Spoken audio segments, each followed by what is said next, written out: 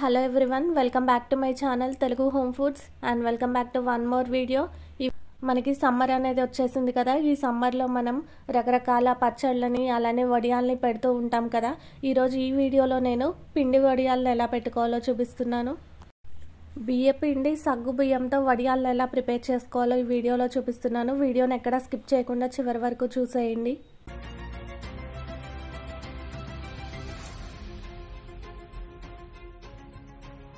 Mixie జార్ని తీసుకొని అందులోకి పచ్చిమిర్చిని వేసుకుంటున్నాను. ఇక్కడ నేను ఒక ఆరేడు పచ్చిమిరపకాయలని ముక్కలుగా కట్ చేసి వేస్తున్నాను. తర్వాత చిన్న అల్లం ముక్కను కూడా ముక్కలు కట్ చేసి వేసుకోవాలి. ఈ అల్లం అనేది ఆప్షనల్ అండి. నచ్చిన వాళ్ళు వేసుకోండి లేదంటే స్కిప్ చేయండి. తర్వాత ఒక టూ టేబుల్ స్పూన్స్ వరకు జీలకర్ర వేసి ఈ మిక్సీ జార్కి మూతను పెట్టేసి దీని మొత్తాన్ని కోర్సుగా గ్రైండ్ చేసుకోవాలి.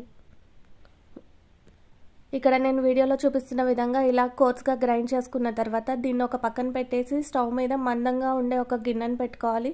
ఇప్పుడు ఇందులోకి వాటర్ని వేసుకోవాలి.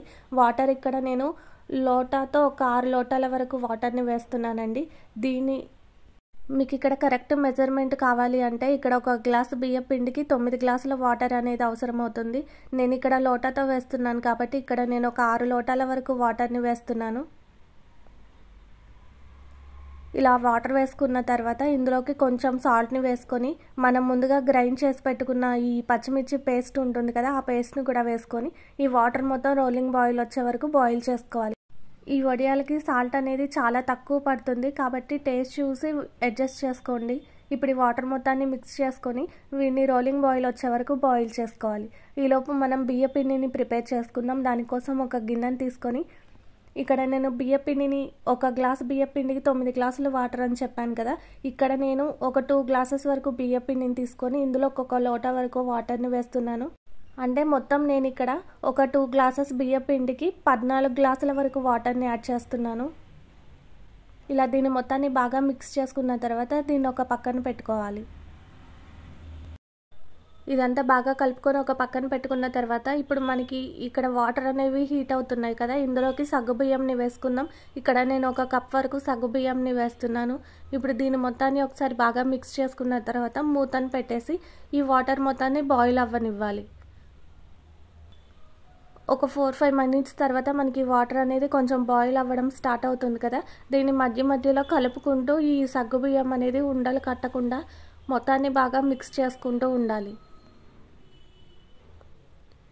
ఇలా ఒక ఫోర్ ఫైవ్ మినిట్స్ తర్వాత మనకి వాటర్ అనేది బాగా బాయిల్ అయిపోతున్నాయి కదా మనం ముందుగా బియ్యపిండిని కలిపి పెట్టుకున్నాం కదా ఈ బియ్యపిండి మొత్తాన్ని ఈ వాటర్లోకి వేసుకుంటూ దీని మొత్తాన్ని కలుపుకుంటూ ఉండాలి. ఇక్కడ నేను వీడియోలో చూపిస్తున్న విధంగా కొంచెం కొంచెం పిండిని వేసుకుంటూ ఈ వాటర్ మొత్తాన్ని బాగా మిక్స్ చేసుకోవాలి. ఇలా పిండి మొత్తం వేసిన తర్వాత మనకి వాటర్ అనేవి చిక్కబడడం స్టార్ట్ అవుతుంది. దీన్ని ఇలా అడుగంటకుండా కలుపుకుంటూ స్టవ్ని లోటు మీడియం ఫ్లేమ్లో పెట్టుకొని ఈ పిండి మొత్తాన్ని చిక్కపడనివ్వాలి. మధ్య మధ్యలో దీన్ని మిక్స్ చేసుకుంటూ మనకి వీడియోలో చూస్తున్నట్టయితే పిండి అనేది బాయిల్ అవుతుంది కదా.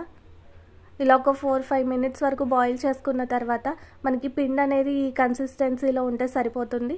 ఇప్పుడు మనం దీన్ని స్టవ్ ఆఫ్ చేసుకొని ఒక పక్కన పెట్టుకుందాం. మనం ఇలా స్టవ్ ఆఫ్ చేసిన వెంటనే వీటిని వడియాల్లో పెట్టేసుకోవాలండి లేదంటే పిండి అనేది చిక్కబడిపోతుంది. ఈ వడియాల్ని పెట్టుకోవడం కోసం నేను ఇక్కడ ఒక కాటన్ క్లాత్ని యూజ్ చేస్తున్నాను. దీని ప్లేస్లో మీరు ప్లాస్టిక్ కవర్ని అయినా సరే యూజ్ చేయొచ్చు. ఇక్కడ నేను ఒక కాటన్ క్లాత్ని తడిపి మనం ఎండలో ఈ క్లాత్ని పరిచిన తర్వాత దీని మీద కొంచెం కొంచెం గరిటతో పిండిని తీసుకుంటూ నేను వీడియోలో చూపిస్తున్న విధంగా వడియాల్లో పెట్టుకోవాలి. ఇలానే మిగిలిన పిండి మొత్తాన్ని వడియాల్లో పెట్టుకొని దీన్ని పూర్తిగా ఒక రోజంతా ఆరనివ్వాలి. ఈ వడియాలని అచ్చం బియ్య పిండితో కూడా పెట్టుకోవచ్చండి. నేను ఇక్కడ సగ్గుబియ్యం వేస్తున్నాను కదా. ఈ సగ్గుబియ్యం అనేది వేయడం వల్ల వడియాలు అనేవి ఎండిన తర్వాత విరిగిపోకుండా నీట్గా వస్తాయి. సగ్గుబియ్యం వడియాలని కూడా ఎలా పెట్టుకోవాలి అనేది మీకు వీడియోని త్వరలోనే పోస్ట్ చేస్తాను. ఇంతవరకు ఈ బియ్య పిండి సగ్గుబియ్యం వడియాలు ఎవరైనా ట్రై చేయని వాళ్ళు ఉంటే తప్పకుండా ఒకసారి ట్రై చేసి మీకు ఎలా వచ్చిందనేది నాకు కామెంట్ బాక్స్లో కామెంట్ చేయండి. మనం ఈ వడియాల్ని పూర్తిగా ఒక రోజంతా ఇలా ఎండలో ఆరనివ్వాలి. ఈ వడియాలు అనేవి పూర్తిగా ఆరిపోయిన తర్వాత ఇలా డ్రై అవుతాయి కదా. వీటిని మనం ఇప్పుడు ఈ క్లాత్ నుంచి సపరేట్ చేసుకుందాం. దానికోసం ఇక్కడ నేను ఈ వడియాల క్లాత్ని ఫోల్డ్ చేసి దీని మీద కొంచెం వాటర్ చల్లుతున్నాను. ఇలా వాటర్ చల్లడం వల్ల ఏంటంటే మనకి వడియాలు అనేవి ఈజీగా సపరేట్ అయిపోతాయి. మనం ప్లాస్టిక్ కవర్ మీద కనుక వడియాల్ని పెట్టినట్టయితే ఇలా వాటర్ ఏం చల్లే పని ఉండదండి. అవి ఈజీగా ఎండిపోయిన తర్వాత ఆ ప్లాస్టిక్ కవర్ నుంచి సపరేట్ అవుతాయి. ఇలా కొంచెం కొంచెం వాటర్ని చల్లుకున్న తర్వాత ఈ క్లాత్ని ఓపెన్ చేసుకొని ఇక్కడ నేను వీడియోలో చూపిస్తున్న విధంగా కొంచెం క్లాత్ని ఇలా కొంచెం లాగి వడియాల్ని తీస్తే ఈజీగా వచ్చేస్తాయి. ఇలా కొంచెం కొంచెం వాటర్ని చల్లుకుంటూ ఈ వడియాలన్నిటిని సపరేట్ చేసుకోవాలి. ఇలా తీసుకున్న ఈ వడియాలన్నిటిని మనం ఒక బేషన్లోకి తీసుకొని వీటి మొత్తాన్ని ఒక పూట వరకు ఎండలో ఆరనివ్వాలి.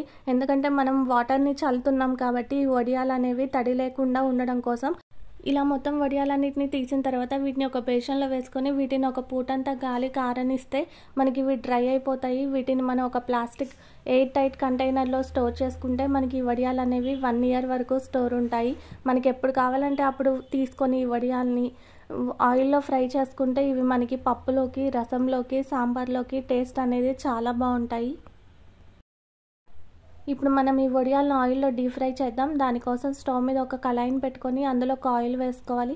ఆయిల్ బాగా హీట్ అయిన తర్వాత కొన్ని వడియాలని వేసుకొని ఇక్కడ నేను చూపిస్తున్న విధంగా రెండు వైపులా వీటిని ఈవెన్గా కాల్చుకున్న తర్వాత వీటిని ఒక ప్లేట్లోకి తీసుకొని సర్వ్ చేసుకుంటే ఎంతో టేస్టీగా ఉండే బియ్య పిండి సగ్గు బియ్యం వడియాలు అనేవి రెడీ అయిపోతాయి. ఈ వీడియోలో బియ్య పిండితో వడియాలను ఎలా ప్రిపేర్ చేసుకోవాలి అనేది చూపిస్తాను. ఇది ఇప్పుడు ఈ వడియాలను ఎలా ప్రిపేర్ చేసుకోవాలి దీనికి కావాల్సిన పదార్థాలు ఏంటనేది చూసేద్దాం. దానికోసం ఫస్ట్ ఒక గిన్నెను తీసుకొని అందులోకి బియ్యం వేసుకోవాలి. ఇక్కడ నేను నార్మల్ బియ్యాన్ని వేస్తున్నానండి. దీని ప్లేస్లో మీరు రేషన్ బియ్యం ఉన్నా కూడా యూస్ చేసుకోవచ్చు.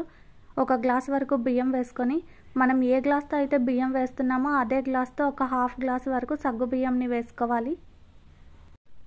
ఇలా బియ్యంలో సగ్గు బియ్యం వేసుకోవడం వల్ల వడియాలు అనేవి విరిగిపోకుండా ఉంటాయి. ఇప్పుడు దీంట్లో వాటర్ని వేసుకొని టూ త్రీ టైమ్స్ వరకు నీట్గా వాష్ చేసుకోవాలి. ఇంతవరకు ఈ బియ్యపిండి వడియాలను ఎవరైనా ట్రై చేయని వాళ్ళు ఉంటే తప్పకుండా ఒకసారి నేను చూపిస్తున్న విధంగా ట్రై చేసి చూడండి. చాలా సింపుల్గా ఉంటుంది. ఇప్పుడు దీన్ని నీట్గా వాష్ చేసుకున్న తర్వాత ఇందులోకి ఈ బియ్యం సగ్గు బియ్యం మునిగే వరకు వాటర్ని వేసుకొని మూతను పెట్టేసి దీన్ని ఓవర్ నైట్ అంతా నాననివ్వాలి. ఇలా మనం దీన్ని ఓవర్ నైట్ నానబెట్టకపోయినా కనీసం ఒక ఫైవ్ అవర్స్ వరకు ఈ బియ్యం అనేది నానాలి. ఒక ఫోర్ ఫైవ్ అవర్స్ తర్వాత మనకి బియ్యం అనేది బాగా నానిపోయాయి కదా. ఇప్పుడు నీట్గా ఈ వాటర్ని తీసేసి మళ్ళీ ఒకసారి వాష్ చేసుకుందాం. ఇప్పుడు ఇందులోకి ఒక మిక్సీ జార్ని తీసుకొని ఈ బియ్యం సగ్గు బియ్యంని వాటర్ లేకుండా ఆ జార్లోకి వేసుకోవాలి. ఇప్పుడు ఈ మిక్సీ జార్లోకి కొంచెం కొంచెం వాటర్ని వేసుకుంటూ దీని మొత్తాన్ని బ్యాటర్ని ప్రిపేర్ చేసుకోవాలి.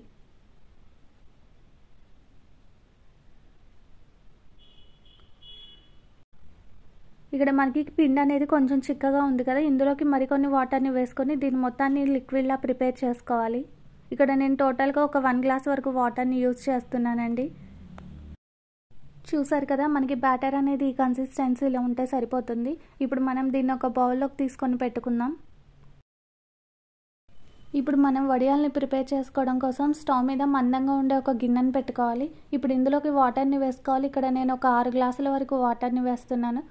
మనం ఒక గ్లాస్ బియ్యం తీసుకున్నాం కాబట్టి దానికి ఆరు గ్లాసుల వరకు వాటర్ని వేసుకోవాలి. నేను ఆల్రెడీ ఒక గ్లాస్ వరకు పిండి పట్టేటప్పుడు వాటర్ని వేసాను కాబట్టి ఇక్కడ ఒక ఐదు గ్లాసుల వరకు వాటర్ని వేస్తున్నాను. ఇప్పుడు ఇందులోకి ఒక వన్ టేబుల్ స్పూన్ వరకు సాల్ట్ అలానే ఒక వన్ టేబుల్ స్పూన్ వరకు జీలకర్రని వేసుకోవాలి. తర్వాత ఇక్కడ ఒక టూ టేబుల్ స్పూన్స్ వరకు కారం వేసుకోవాలి. ఈ వడియాల్ని నేను కారంతో చూపిస్తున్నానండి. దీని ప్లేస్లో మీరు పచ్చిమిర్చి పేస్ట్ అయినా కూడా వేసుకోవచ్చు. ఆల్రెడీ నేను ఈ పచ్చిమిర్చి అల్లం పేస్ట్తో వడియాలను ఎలా ప్రిపేర్ చేసుకోవాలనేది వీడియోని పోస్ట్ చేశాను. ఎవరైనా చూడని వాళ్ళు ఉంటే ఒకసారి తప్పకుండా చూడండి. లింక్ని కింద డిస్క్రిప్షన్లో ఇస్తాను. ఇప్పుడు ఈ వాటర్ మొత్తాన్ని బాగా మిక్స్ చేసుకున్న తర్వాత దీన్ని రోలింగ్ బాయిల్ వచ్చే వరకు మరిగించుకోవాలి. ఇప్పుడు ఇందులోకి మనం ముందుగా గ్రైండ్ చేసి పెట్టుకున్న ఈ బ్యాటర్ని వేసి కలుపుకుంటూ ఉండాలి. ఇలా కొంచెం కొంచెం పిండిని వేసుకుంటూ దీన్ని కలుపుకుంటూ ఉండాలి. లేదంటే ఇది ఉండ కట్టేస్తుంది. ఇప్పుడు స్టవ్ని లోటు మీడియం ఫ్లేమ్లో పెట్టుకొని దీన్నంతా మిక్స్ చేసిన తర్వాత దీన్ని ఒక ఫైవ్ టు టెన్ మినిట్స్ వరకు ఉడికించుకోవాలి. ఒక ఫైవ్ మినిట్స్ తర్వాత మనకి ఈ పిండి అనేది చిక్కబడ్డం స్టార్ట్ అవుతుంది కదా. ఇప్పుడు స్టవ్ని పూర్తిగా తగ్గించేసి దీని మొత్తాన్ని ఒక ఫిఫ్టీన్ మినిట్స్ వరకు ఉడికించుకోవాలి. మనకి ఈ పిండి అనేది శాంతం చిక్కపడాలండి. ఇక్కడ నేను వీడియోలో చూపిస్తున్నట్టు ఒక ఫిఫ్టీన్ మినిట్స్ తర్వాత మీకు ఈ పిండిని చూపిస్తున్నాను. మనకి పిండి అనేది ఈ కన్సిస్టెన్సీలో ఉంటే సరిపోతుంది. ఇప్పుడు మనం దీన్ని బాగా మిక్స్ చేసుకొని స్టవ్ను ఆఫ్ చేసుకొని ఈ పిండి మొత్తాన్ని పూర్తిగా చల్లారనిద్దాం. ఈ పిండి అనేది పూర్తిగా చల్లారిపోయిందండి. మనకి వడియాలు పెట్టుకోవడానికి పిండి రెడీ అయిపోయింది. ఈ వడియాల్ని మనం మురుకుల మిషన్ ఉంటుంది కదా దీంతో అయినా కూడా పెట్టుకోవచ్చు. లేదంటే ఆయిల్ కవర్తో కానీ ఒక పాల ప్యాకెట్తోనైనా సరే సింపుల్గా వడియాల్ని ప్రిపేర్ చేసుకోవచ్చు. ఈ మురుకుల మిషన్తో వడియాలను ఎలా ప్రిపేర్ చేసుకోవాలనేది ఆల్రెడీ నేను ప్రీవియస్ వీడియోలో పోస్ట్ చేశాను. ఇప్పుడు నేను ఇక్కడ ఆయిల్ కవర్తో వడియాలను ఎలా పెట్టుకోవచ్చో చూపించబోతున్నాను. దానికోసం ఒక ఆయిల్ కవర్ని తీసుకొని ఈ ఎడ్జెస్ అన్నిటిని కట్ చేసుకోవాలి. ఇలా కట్ చేసుకున్న తర్వాత ఇందులోకి కొంచెం కొంచెం పిండిని వేసుకోవాలి. ఇలా ఈ ప్యాకెట్లోకి పిండిని వేసుకున్న తర్వాత దీన్ని మనం రబ్బర్ బ్యాండ్తో క్లోజ్ చేసుకోవాలి. ఇలా క్లోజ్ చేసుకున్న తర్వాత ఇక్కడ నేను వీడియోలో చూపిస్తున్నట్టు ఒక చివరి ఎడ్జ్ని కొంచెం కట్ చేసుకోవాలి. ఇలా కట్ చేసుకున్న తర్వాత దీన్ని వడియాల్లో పెట్టుకోవాలి. ఇలా పిండి మొత్తాన్ని కొంచెం కొంచెం ఆ ప్యాకెట్లో వేసుకుంటూ ఇక్కడ వీడియోలో చూపిస్తున్నట్టు వడియాల్ని ప్రిపేర్ చేసుకోవాలి. ఇది చాలా సింపుల్గా ఉంటుందండి. తప్పకుండా ట్రై చేయండి. ఈ వడియాలు మొత్తం పెట్టడానికి నాకు ఒక టెన్ మినిట్స్ వరకు టైం పట్టిందండి. ఇప్పుడు మనం ఎండలో ఈ వడియాలన్నింటినీ పెట్టిన తర్వాత వీటిని ఫుల్ డే మొత్తం ఆరనివ్వాలి. ఈవినింగ్ కల్లా వడియాలు అనేవి ఇలా ఫుల్గా డ్రై అయిపోయాయండి. ఇప్పుడు వీటిని మనం ఈ క్లాత్ నుంచి సపరేట్ చేసుకుందాం. ఎండ అవైలబుల్లో లేని వాళ్ళు ఈ వడియాల్ని నీడలో కూడా ఆరపెట్టుకోవచ్చండి. మనం ఇంట్లో హాల్లో ఫ్యాన్ వేసేసి దీన్ని ఫుల్ డే మొత్తం పూర్తిగా ఫ్యాన్ని హై ఫ్లేమ్లో పెట్టి ఆరనివ్వాలి. మనం క్లాత్ని ఫోల్డ్ చేసుకొని కొంచెం వాటర్ని చల్లుకోవాలి. ఇలా వాటర్ని చల్లడం వల్ల మనకి వడియాలు అనేది ఈజీగా క్లాత్ నుంచి సపరేట్ అవుతాయి. ఇక్కడ నేను వీడియోలో చూపిస్తున్నట్టు క్లాత్ని కొంచెం లాగి ఒక్కొక్క వడియాన్ని తీసుకొని ఒక ప్లేట్లోకి పెట్టుకోవాలి. ఈ వడియాల్ని క్లాత్ నుంచి సపరేట్ చేసేటప్పుడు చాలా జాగ్రత్తగా తీసుకోవాలి లేదంటే ఇవి విరిగిపోతాయి. ఇలా అన్నిటినీ తీసి పెట్టుకున్న తర్వాత వీటిని ఆ నెక్స్ట్ డే ఫుల్గా ఎండలో ఆరనివ్వాలి. ఇలా ఆరనివ్వడం వల్ల కొంచెం ఏమైనా పచ్చి ఉంటే అవి పూర్తిగా ఎండిపోతాయి. ఇలా ఈ ఎండిన వడియాల్ని మనం ఒక ఎయిట్ ఎయిట్ కంటైనర్లో స్టోర్ చేసుకుంటే మనకి వన్ ఇయర్ వరకు స్టోర్ ఉంటాయి. ఇప్పుడు మనం వడియాల్ని వేయించుకొని చూద్దాం. దానికోసం స్టవ్ మీద కళాయిని పెట్టుకొని అది బాగా హీట్ అయిన తర్వాత వడియాల్ని వేసి వెంటనే వాటిని ఒక ప్లేట్లోకి తీసుకొని పెట్టుకోవాలి. ఈ వడియాలు నూనె బాగా కాగిన తర్వాత మాత్రమే వేసుకోవాలండి. అప్పుడే మనకి ఇవి చక్కగా పొంగుతాయి. ఇలా వేయించుకున్న వడియాల్ని మనం పప్పులోకి రసంలోకి సాంబార్లోకి తింటే చాలా టేస్టీగా ఉంటాయి. వీటిని మనం ఒక్కసారి ప్రిపేర్ చేసుకొని పెట్టుకుంటే మనకి ఇవి వన్ ఇయర్ వరకు స్టోర్ ఉంటాయి. ఈ వీడియో నచ్చినట్టయితే ఒక లైక్ చేసి మీ ఫ్రెండ్స్కి రిలేటివ్స్కి షేర్ చేయండి. ఇలాంటి మరిన్ని టేస్టీ రెసిపీస్ కోసం తెలుగు హోమ్ ఫుడ్ ఛానల్ని సబ్స్క్రైబ్ చేసుకొని ఫాలో అవ్వండి. ఇంతవరకు నా పాత వీడియోస్ని ఎవరైనా చూడని వాళ్ళు ఉంటే తప్పకుండా ఒకసారి చూసి ఒక లైక్ చేయండి. Thanks for watching